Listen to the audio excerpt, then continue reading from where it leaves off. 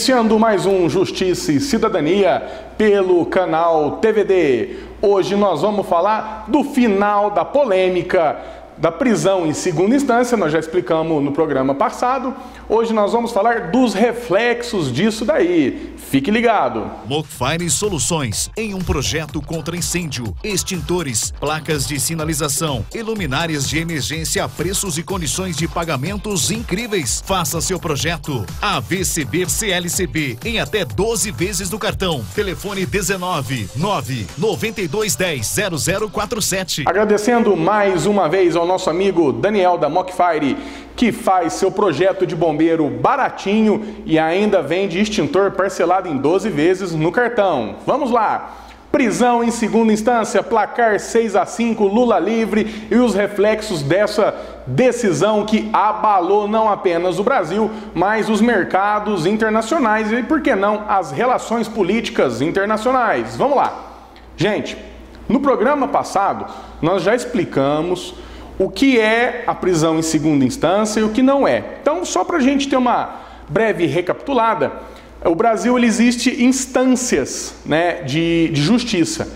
O juiz de primeiro grau, depois vai para um colegiado, que é no Tribunal de Justiça, onde três desembargadores decidem, reapreciam o mérito.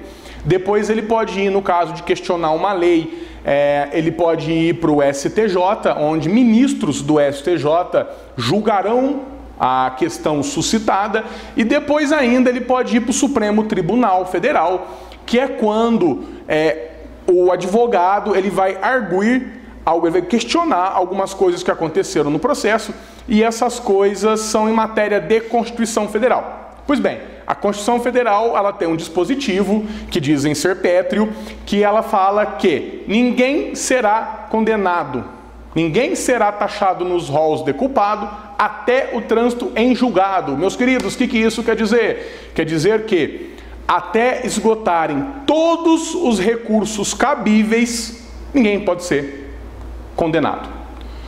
E aí vem uma, uma, uma, um pensamento do próprio Supremo Tribunal Federal, do qual o Dias Toffoli, que foi o que deu o voto de Minerva, que é contra a prisão em segunda instância, tem um voto dele um pouco mais atrás, um pouco mais no passado, que ele defende a prisão em segunda instância. Olha, ninguém pode ser culpado até o trânsito em julgado, mas o Brasil tem o duplo grau de jurisdição, quer dizer, o mérito da questão, a análise de como foi as coisas, como foram os fatos, o que se deu, ele é feito em duas instâncias apenas. As outras são, em tese, apenas para rever.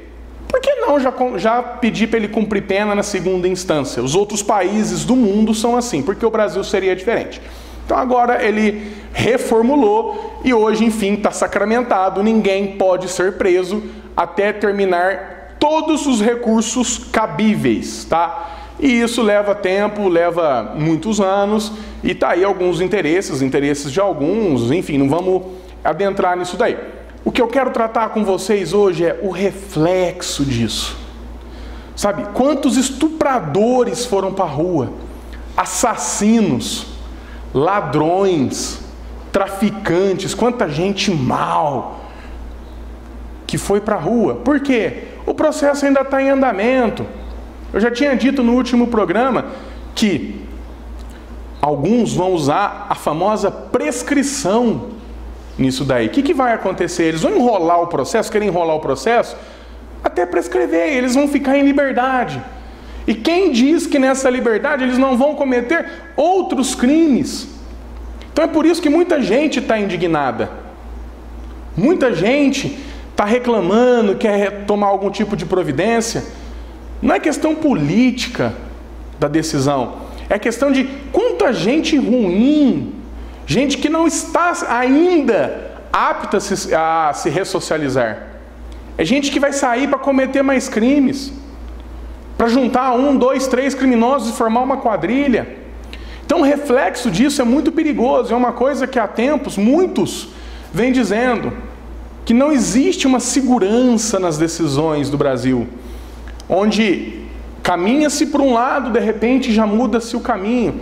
Bom, isso é ótimo porque mostra uma completa evolução. A gente está sempre evoluindo, sempre buscando entendimentos novos, uma evolução constante. Mas e o caminho a ser trilhado? Sabe, então o reflexo disso, não vamos fazer análise política, esquece, vamos esquecer isso. Mas o reflexo de quanta gente ruim, quanto assassino, estuprador está indo para a rua por conta dessa decisão do Supremo. Dizem que é cláusula pétrea. Ora, mas então se fosse cláusula pétrea, não podia ter mandado prender em segunda instância, como aconteceu em alguns casos. Na grande maioria dos casos. Então por que, que agora é Petro, mas antes não era? Agora eles querem fazer uma PEC, né? uma proposta de emenda constitucional para existir a prisão em segunda instância. Mas ela não vai retroagir essa lei. Se eles fizerem essa PEC, ela não vai voltar atrás e mandar prender todo mundo que saiu agora, ou que vai sair agora. Então é uma questão muito perigosa. O Brasil ainda está se descobrindo, está descobrindo sua democracia nós amamos o nosso país, nós amamos a nossa democracia. É uma democracia jovem. Nós viemos da democracia em 1988, ainda é uma democracia muito jovem. Então nós estamos ainda aprendendo a trabalhar, aprendendo a exercer a nossa democracia. Então eu quero que vocês pensem sobre a prisão em segunda instância. É justo ou não é?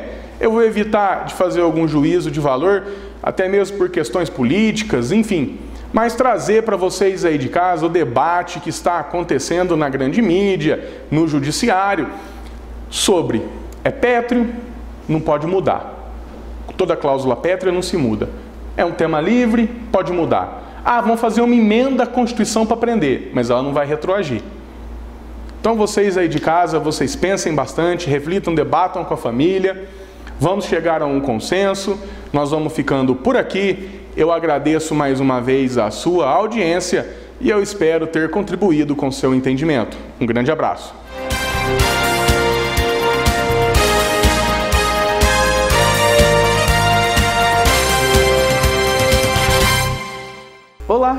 Meu nome é Vinícius Douglas, sou da GSC, Grupo de Soluções Contábeis e Empresariais.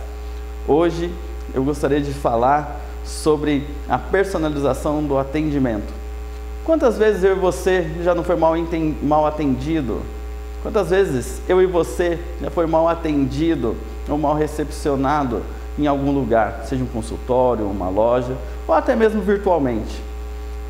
Esse é um dos segredos que eu quero passar para você, te dar uma sacada sobre o atendimento personalizado onde você precisa entender como o seu cliente quer ser atendido. Não basta simplesmente cumprimentá-lo, não basta simplesmente oferecer o produto para ele. O seu cliente ele tem um problema. O seu cliente tem uma ansiedade. O seu cliente deseja algo. O seu cliente está às vezes mal-humorado e às vezes bem-humorado. Seu cliente às vezes quer um atendimento rápido e às vezes ele quer um atendimento demorado, personalizado, e ele, pode ser que ele até queira que você seja um psicólogo ali de improviso para ele. Quando você entende isso, você muda a forma de apresentar o seu produto. Você apresenta para ele uma solução de um problema. E todo mundo quer soluções para os seus problemas. Então, fique atento, pois nós falaremos a seguir sobre treinamento de equipe onde nós mostraremos como fortalecer a sua equipe para vender mais. Até a próxima!